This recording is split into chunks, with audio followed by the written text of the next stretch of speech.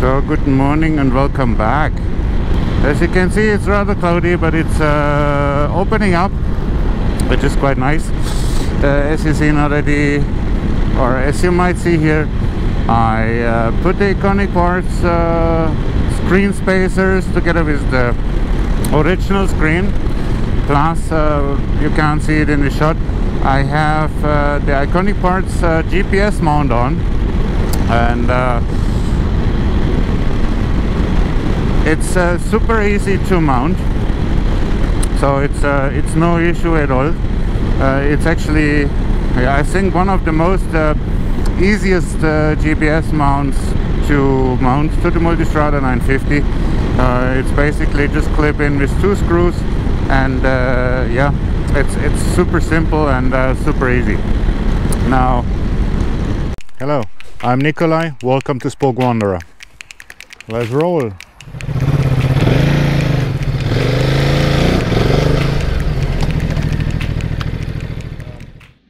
Hello and welcome back. As you can see, I have something uh, which I just got from uh, Iconic Parts. Now, uh, some time back, I made the review of the Touratech uh, touring screen for the Multistrada 950. Now, for the touring screen or aftermarket screens, Iconic Parts uh, do different spacers. They are also with three, they have also screws, but they look a little bit different. So these are the ones for the original uh, Ducati uh, windscreen. Now, they are the original ones for the Ducati Multistrada windscreen. Now, a lot of you have asked uh, how are they with the original screen, and uh, well, unfortunately, I couldn't answer your question by then. Now I've got them. Let's mount them and uh, try them out and see how they are. So as you can see, these are the ones which I got first. I bought them. And when you just see the lower one, uh, here I think you can see it quite nicely. They have this pin and they are just flat. Yeah. And also versa, versus uh, the upper ones, they have also still uh, a small top on here. Now, um, these were the ones which I had before, and these are basically are the ones which I uh, got from Iconic Parts, uh, sent uh, to me. Uh, now, let's go into the installation, and uh, then you can see, because also there is not much material on how to install these things, and if there is any tricks or anything missing with it. So let's dig into it. Now, as you can see, I removed already the screen. Yeah, so this is this is how it looks now roughly without the screen. What you see here is the original Ducati uh, GPS mount bracket. From Iconic Parts was also so kind to uh, send me uh, theirs, which is I think also printed or cut. Uh, and uh, I will also film the installation of that one. So we have both uh, iconic part, iconic part parts covered in this video. Um, it looks quite nice. Let's see if I can have the mounting bracket as well, which is uh, actually done for the, uh, for the uh, Ducati mount, uh, but uh, this we taught during the video. Now, as you can see, I took the Ducati bracket, which is uh, this one, which is basically stuck on. I took it off, which out of metal. And uh, then you have this uh, hole here. Now, uh, from Iconic Parts, it's basically two parts. One goes from here underneath, as you can see, which fits quite snug, which fits very nicely. Then you have here actually two screws. Yeah, go from here and here. You just basically put it through, and then from underneath, you have this uh, counter things which hold it in place. Now I know a lot of you will say why they didn't make it in uh, black? Because you may see it and so you know, honestly um, take a pen or take a water resistant pen and paint them black if you like. Well, I think they will do. So basically I just have to tighten them and then uh, they should fit as you can see, I have still the back plate of uh, the Multistrada mount and I have to basically unmount here everything and put it on this connector uh, which is then fixed here uh, in uh, on, on, on the iconic parts mount. So let's the, yeah give me a minute and I dismantle it and then let's see if we managed to put it back together or uh, if I can't use the dumper stand anymore because the connectors still don't work with uh, uh, the, the, the plate so but let's see. So now as you can see it's roughly mounted. So the side brackets you put in with the screw then uh, you have the plastic nipples or these rubber nipples in you stick this in on both sides and underneath here it's just basically uh, plug and play and uh, now we need to fix these two parts. Now as you can see you have one bigger uh, down here which is a bit taller as I showed you at the beginning. And you have uh, this one uh, here. Now when you see let's go to the seat. When you see this is a normal Allen key and uh, I had two and one I shorted uh, shortened a bit because let's try this one. When you go here in between you see it's it's uh, it, it is extremely tight and you might scratch uh, your windscreen. Now with this one you see you have enough space in between now. This would be nice if uh, Iconic part would uh, provide uh, this little piece, uh, this little gadget along. Charge one uh, euro more uh, or one pound, whatever, uh, but I think it's quite handy for us users. I mean, other than that, I'm going for a spin quite soon try it out also see with the GPS mounted how it's gonna be and then I'll be back with more information. I have uh, the Scorpion ADX-1 or AT950, how they call it in the States and uh, in other countries. And I have the peak on and uh, yes, you still have a little bit of uh, wind noise. Well, we know the Scorpion is not the quietest helmet and you're still with the new thingy. Now, where is it? You still can uh, put it up and uh, when you have the screen on the highest position you almost eliminate uh, the wind noise.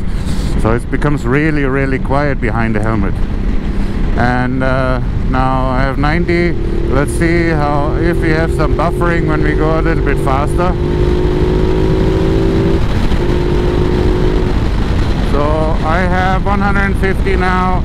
I don't feel any buffering the only thing is, uh, I think when I go for high speed, I have to remove the Pika from the helmet and then it should be absolutely fantastic. Uh, I have no turbulences behind uh, the screen, so in front of me when I have in the highest position. Uh, so I really like it. I mean, it's definitely a game changer. Uh, compare uh, original screen without the iconic parts screen spaces. Now let's uh, find a quick space to uh, stop and then I show you a bit in detail uh, close up. So as you can see I have here the original screen and uh, in the close-up while driving uh, you've seen the iconic parts uh, screen spacers.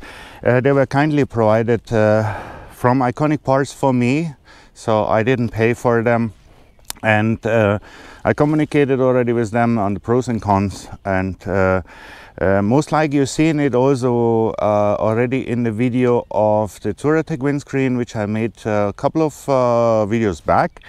Uh, there I had them. Now these are the ones which are for the standard screen the other ones, they are for aftermarket screens, MRA, Puig, uh, you name them. Um, so they're a little bit different, uh, but you see as well uh, what it is. Now, um, I got uh, a sponsoring as well, the GPS mount uh, from Iconic Parts, which is absolutely geniusly engineered. But uh, let's take a little close up and you see a bit more. As you see, so as you see, it's not a big difference. Um, here you see it, I think I hope you see it nicely.